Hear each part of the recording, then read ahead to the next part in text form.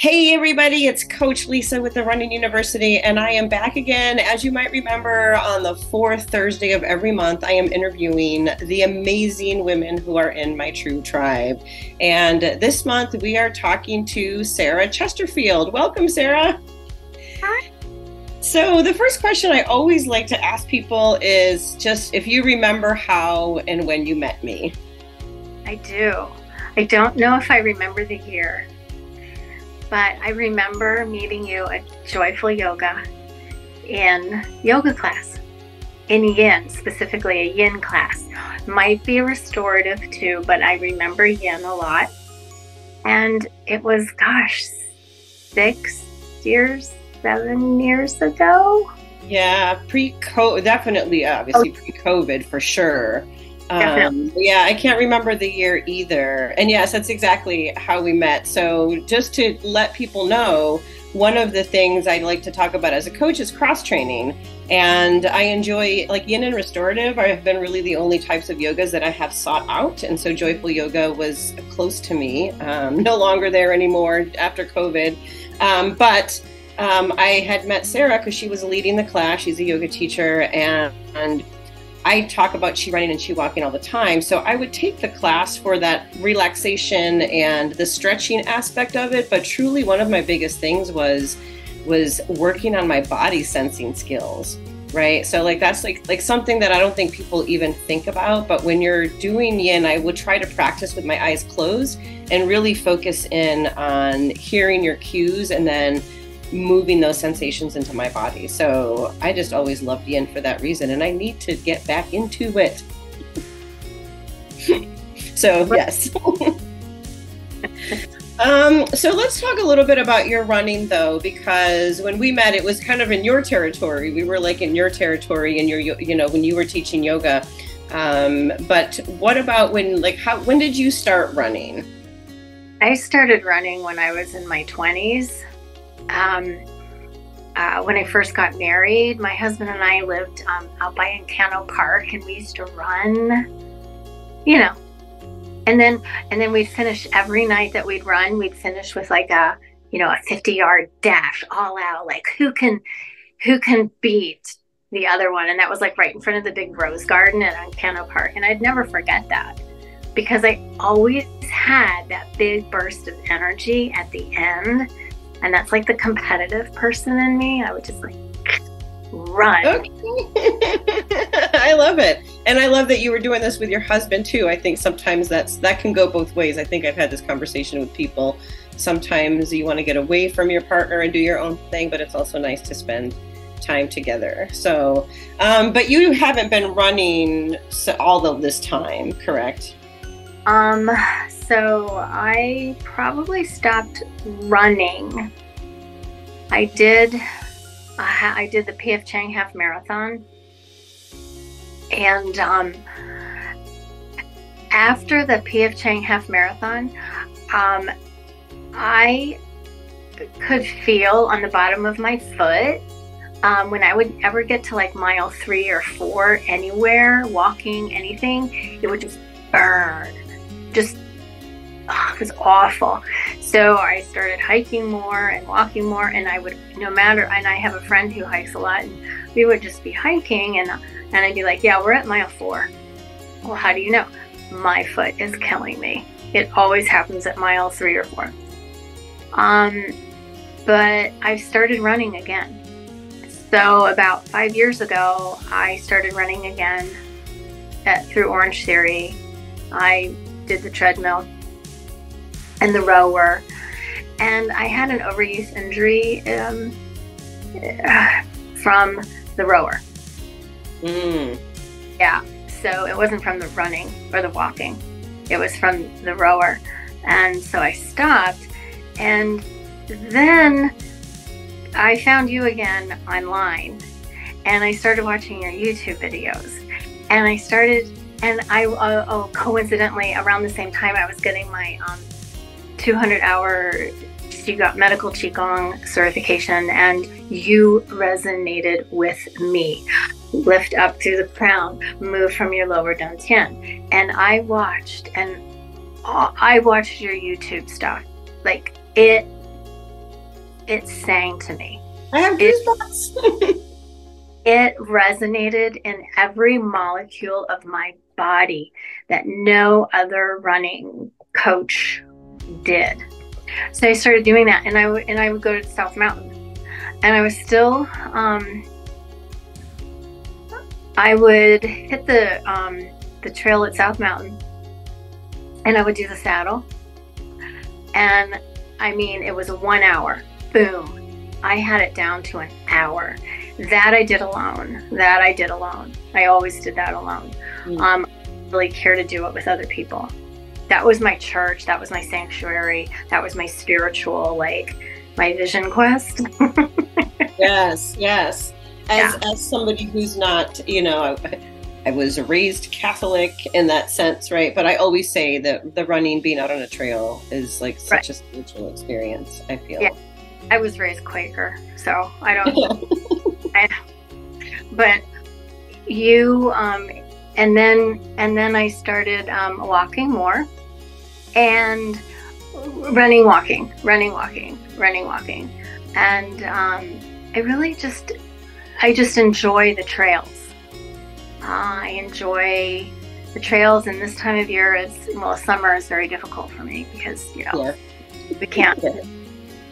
But um, all of your cueing, and then when I um, started following you on the Running University and the TRU Tribe, and I started watching your the Form Focus um, videos and all those videos that you really helped the women in that in this group.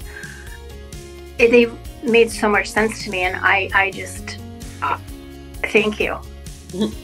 Thank you for saying that. I have no pain.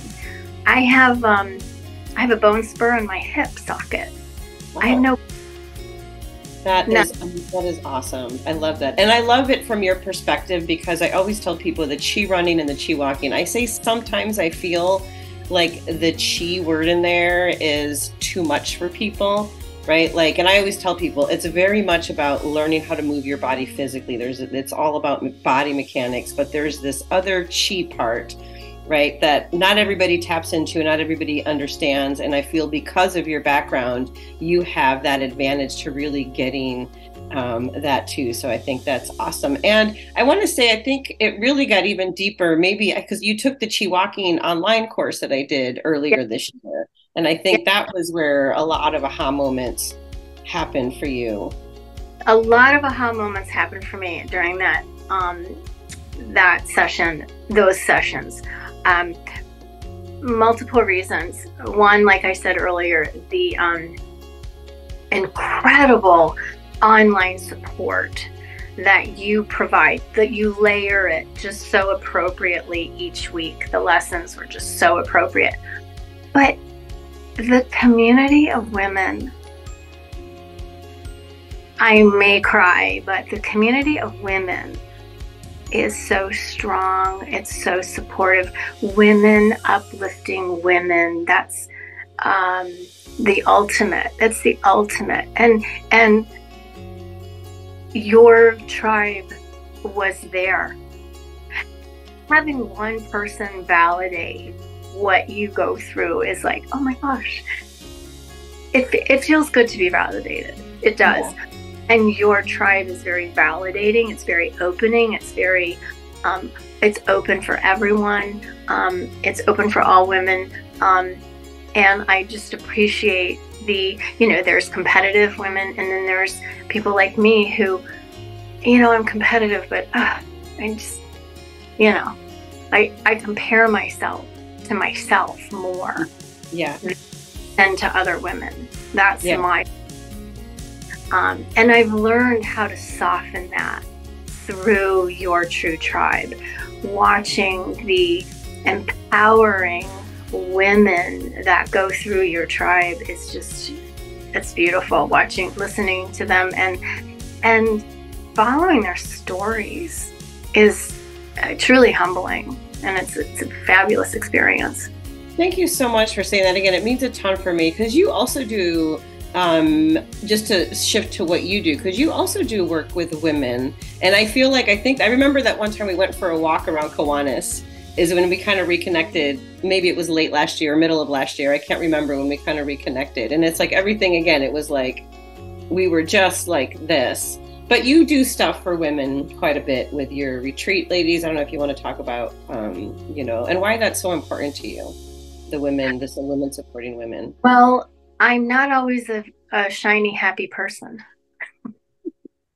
I think that's all of us, maybe, right? I think there's a lot of um, toxic positivity in our in our um, in the health and wellness community, um, and my partner Dawn Hopkins, who you will have um, in a couple weeks uh, doing her mindful eating course, which is wonderful. Anybody, if you're out there and you listen to this, I highly recommend it. I've taken the course and it's life changing. Um, but Dawn and I are both yoga instructors, and we're same but different. We complement each other in so many ways, um, and we work on doing mini retreats, um, two, one, two, three day, and we've had um, four day retreats. And our purpose is to connect women um, and help just uplift women through yoga, meditation, journaling, and helping them discover who they are. Um, midlife, most of our women are in their 50s and 60s, and I hate the term midlife crisis.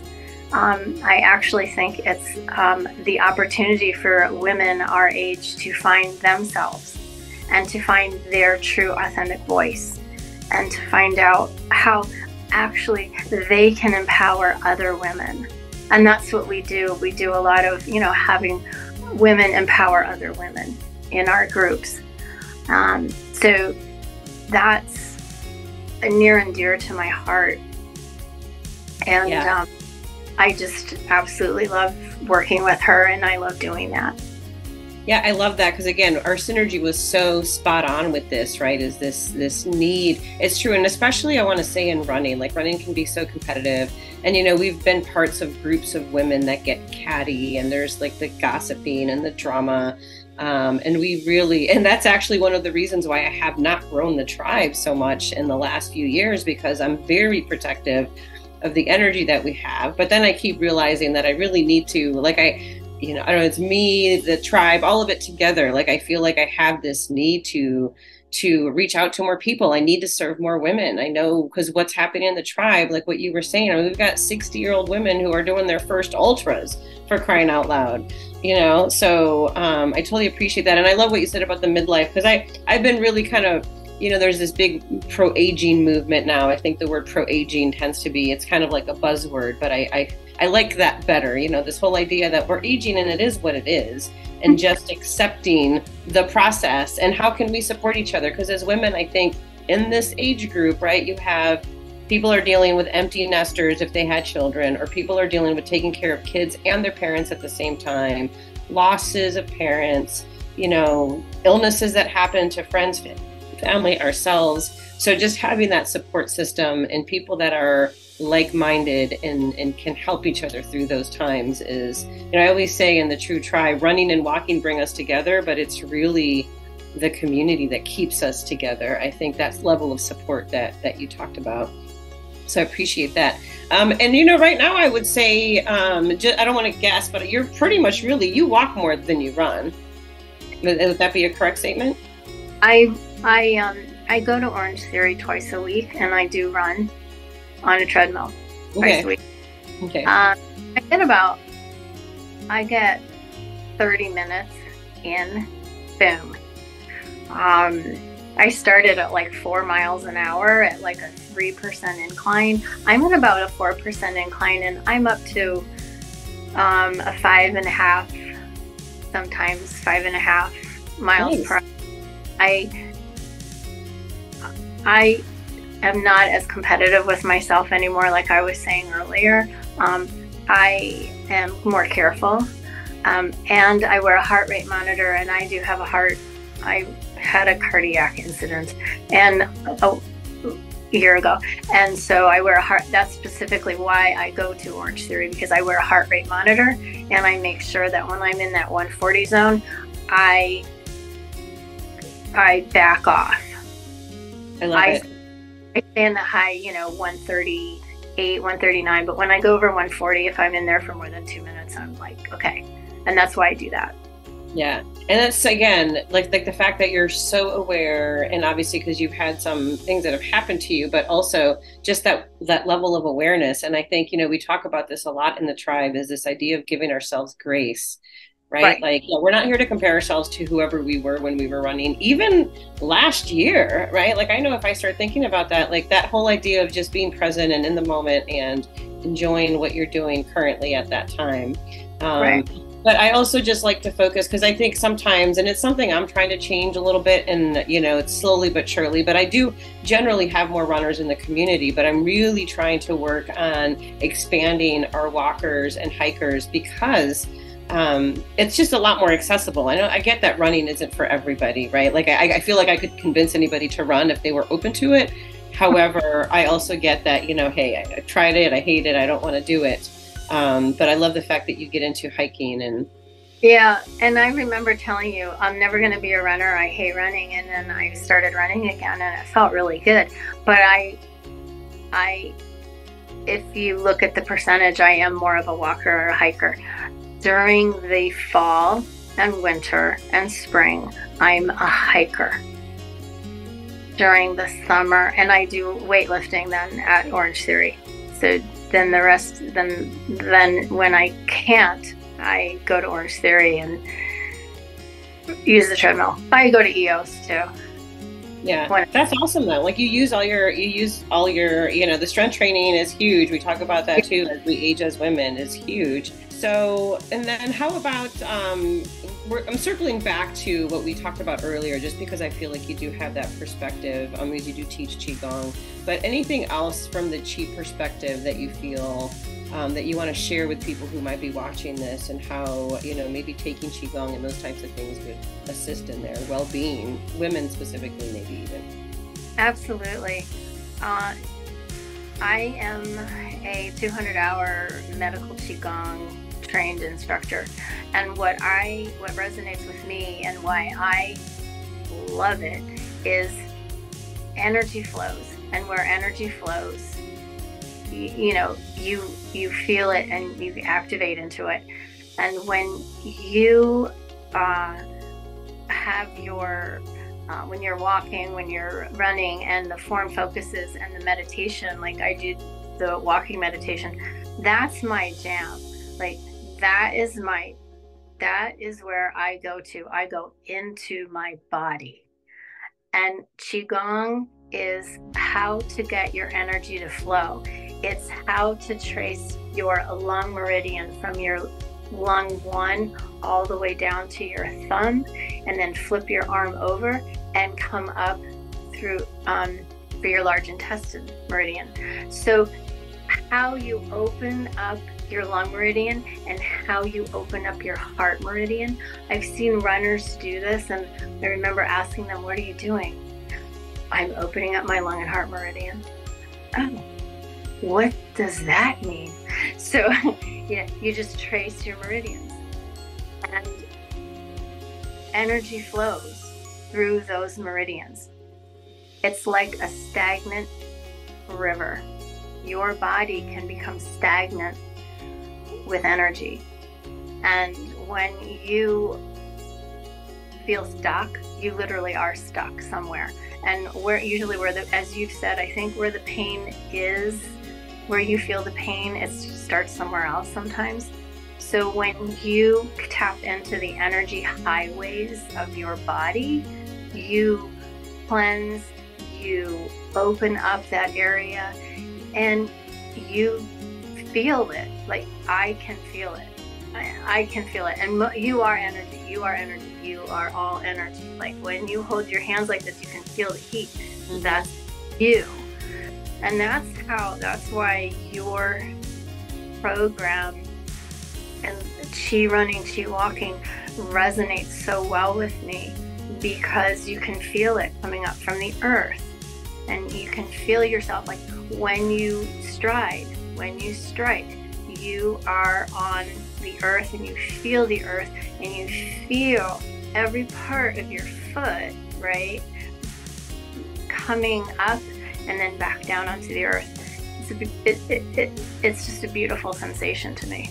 Yeah, I love that. I love that. And I know, again, and I might be stereotyping a little bit. I feel, though, it again is, I'm thinking about even myself as when I was younger, right? And I think this is also just something with aging that you really just start you know, not caring about what other people are thinking, but you really start just delving deeper, kind of like what you said with your retreats too, is that you're helping women find themselves. And that's exactly, I guess, kind of what happens with the chi running and the chi walking, or just running and walking even in general. I think the chi adds a whole different element that, you know, not everybody may be able to tap into. But I just think, you know, again, as we're getting older, it's so important to take care of our mind, body, and spirit. And I think this is just so much of a holistic process that way.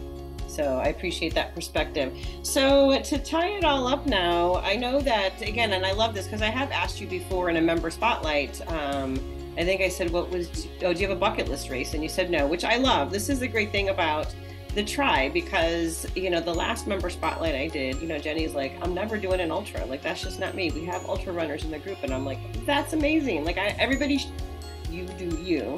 So, do you have any plans as far as your walking and running goes, or you know what else? What's what else is happening for you coming up? Well, as my walking and running, I'm just I love this challenge, and I'm participating in it, and I I love everything about it. And even after the challenge is over, I'm still um, I'm still writing them down for October. Yeah, they'll be there. They'll still be there. You'll have access to them. You'll have yeah. access to them forever. and you and a lot of other women um, that I, I, um, I, I did, you inspire me, and I am working on my health and wellness coaching. So um, in the next year, um, I'm right now I'm in the nutrition um, fun module, and it's fascinating. I love it. I learn all about hormones, but um, it is fascinating, and so that's where I'm going. Um, I'm still doing retreats with Dawn. We have one coming up in October, and um, we have a big one coming up in March or April. And so by maybe by March or April, I will be a certified health and wellness coach. So, and I'm to drop those links. I'm going to drop those links in the description for the retreat ladies and for these upcoming because some of these you definitely oh. it depends on whenever people watch this video but if they're watching it fairly currently um, I definitely want to put those in there. And I just really so appreciate you taking some time to come and chat with me and share your wisdom. And it goes both. That's what I love about our tribe is everybody. There's just this big circle of inspiration. We're all inspiring each other. And I know one of these days, hopefully, I can be part of the retreat. We've, you know, we've tried to work it out, and you know, you guys have your thing going on, but, um, you know, I know that all we do is in like, you know. There's one. I'm um, I walked away from teaching yoga full time um, a year ago because of health issues, but I'm back. I'm back at InnerVision in uh, Tempe and in Ahwatukee. So I will be in Tempe um, teaching Yin Yang Flow on Friday mornings at 7:30, and I will be in Ahwatukee on Wednesday and Saturday mornings. I think 9 to 10 or 10 to 11, teaching Yin Yang Flow. So it's a little bit of movement and then it's a little bit of yin. It's a combo. All right, cool. I'll do, and I'll drop those links down in the description as well. If you are local, I definitely would recommend checking it out. But I'll put your info there.